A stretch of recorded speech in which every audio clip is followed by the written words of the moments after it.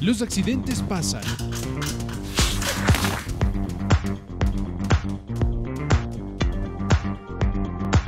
¿Tiene su sistema de seguridad ocupacional al día? Nosotros te ayudamos. Contamos con servicio de audiometría, imagen, unidad médica móvil y laboratorio.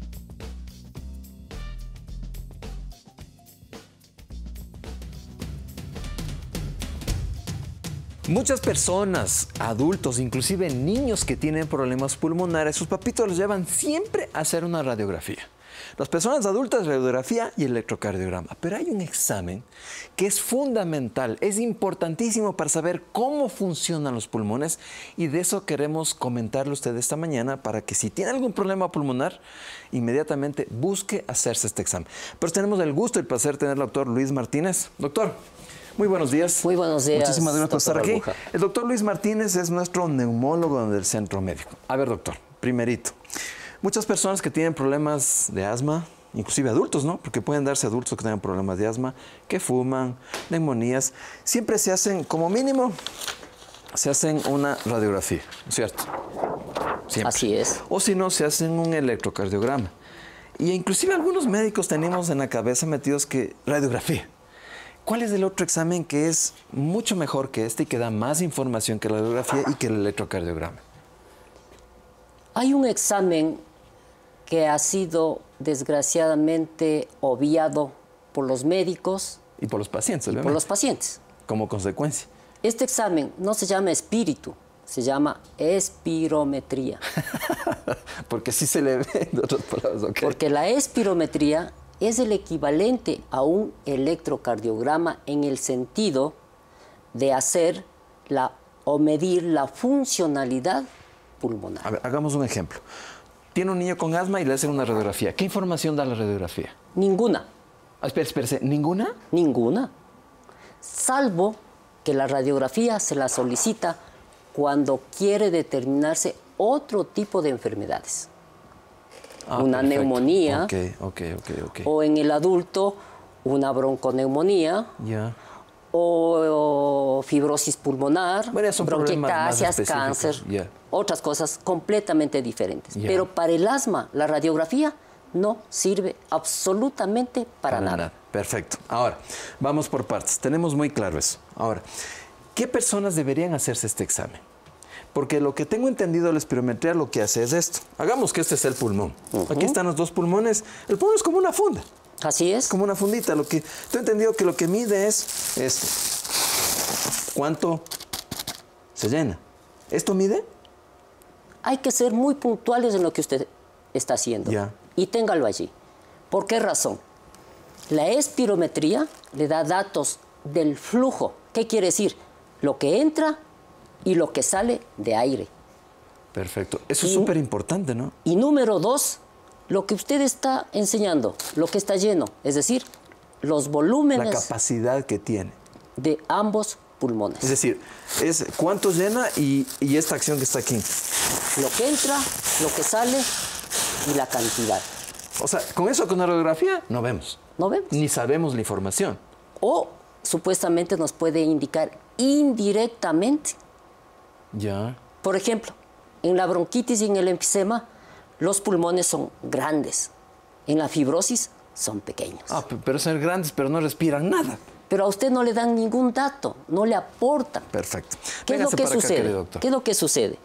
La espirometría Ya. o pruebas funcionales respiratorias, como dice la palabra, le indica la funcionalidad. Si es que está sano o está enfermo.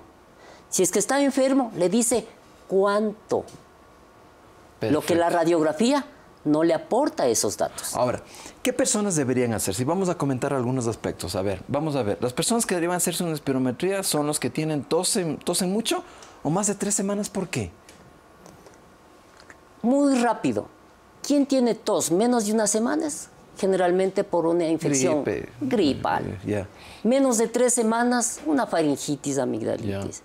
Pero más de tres semanas, ojo, puede ser una enfermedad alérgica, una enfermedad bronquial, es decir, una bronquitis. Cada vez se complica Puede ser una neumonía o puede ser una lesión tumoral o una Claro, porque tromboembolia. siempre es neumonía, radiografía.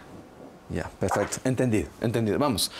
Que se queda sin aire cuando camina rápido. Fumadores. Clave fumadores. Los dos son casi patognomónicos lo que nosotros los médicos llamamos disnea. La sea, disnea es que no la falta de aire, la Perfecto. sensación de ahogo, que el paciente se queja desde distancias cortas hasta distancias largas. Listo. Asmáticos, obviamente, hemos dicho. Preoperatorios para saber cómo están los pulmones fun- funcionando, que son muy Todo importantes. paciente que vaya a ser intervenido quirúrgicamente y tenga que hacerse una intubación, deben, no deberían, deben hacerse Ahora, una Esto, espirometría. aquí está la máquina de espirometría. Lo que se hace es, ya vamos a ver, soplar aquí y usted me va a explicar un poco más. Pero, es decir, no solo para descubrir, sino para ver si el tratamiento funciona. Pues en el asmático, en los fumadores, se necesita la espirometría igual. Correcto. No solo es de diagnóstico, entonces. La espirometría tiene que hacerse siempre basal. De ahí partimos. O sea, normal, sentado, tranquilo, sin ningún problema. Ya. Y luego de ello, si es que ha, det- ha determinado que existe una enfermedad y ha dado usted un tratamiento y quiere también saber el pronóstico, entonces la espirometría va a ser el estudio específico para determinar estos tres Ahí estamos parámetros. viendo, a uno de nuestros colaboradores les hemos sometido a que se haga una espirometría porque anda fumando. Esta persona, ¿cómo debe ir a hacerse la espirometría? ¿Es mejor en la mañana, es mejor en la noche, comido, sin comido? ¿Cómo, cómo me voy a hacer este examen? Como estamos viendo ahí. La espirometría es un examen bien sencillo. No necesita tanta vaina. El paciente lo único que tiene que saber es que no tiene que haber utilizado broncodilatadores, es decir, los inhaladores, Ya, perfecto. antes de Ya, 4 o 12 horas, dependiendo. El paciente generalmente es preferible que vaya con ropa muy cómoda ya. y basta. Suficiente. Puede ir comiendo o no comiendo, pero lo ideal es no comer, ideal. Ya, ok. Ahora, estamos viendo ahí. Lo que veo es que usted le hace soplar en este tubito. Le hace soplar con fuerza y me imagino que lo que mide es cuánto logró entrar. Exactamente. Lo que hacemos es muy simple. Una vez que el tecnólogo lo prepara al paciente, lo pone bien cómodo, le pone Ah, un tapón a nariz. Perfecto. una, una tapón nasal.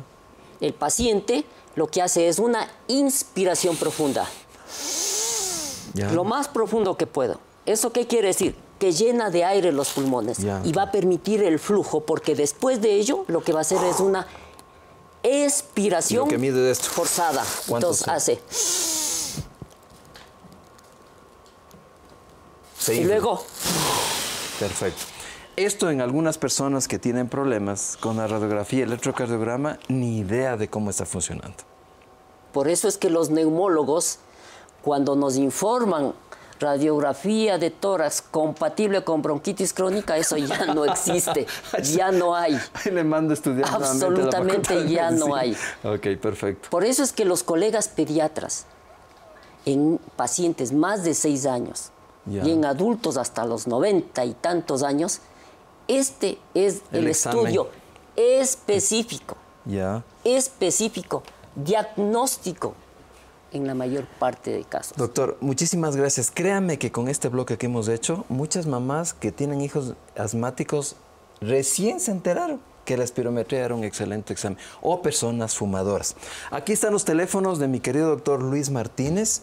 Si usted está recibiendo tratamiento de problemas pulmonares, tiene una infección, va a hacerse una cirugía, hemos visto que la espirometría es de los exámenes más importantes. Y si ustedes quieren localizar al doctor, aquí están los teléfonos. Doctor, muchísimas gracias. Espero que hayamos educado a la población y también muchos médicos ven el programa, doctor, que la espirometría es un examen importante. Muchas gracias. Regresamos en buenos breves días. instantes aquí en Hace un Nuevo Estilo de Vida. Ya volvemos.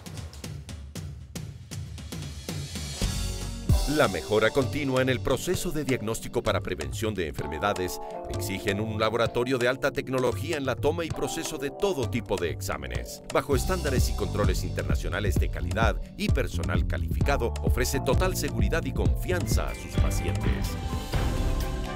Laboratorio Cefabis, un producto más de hacia un nuevo estilo de vida.